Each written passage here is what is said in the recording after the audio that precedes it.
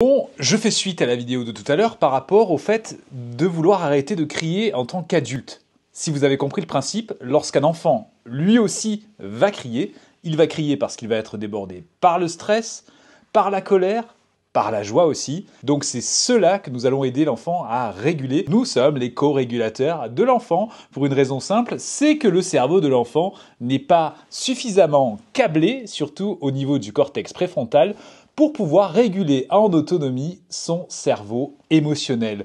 Donc le régulateur, c'est l'adulte qui est à côté. Et donc l'adulte va aider l'enfant à garder son calme, se mettre à côté, lui parler doucement, écouter ses émotions, lui proposer un câlin ou une activité qui va consister à évacuer les tensions. Et le stress va ainsi baisser. Ça peut être danser, chanter, bref, tout ce qui permet de bouger.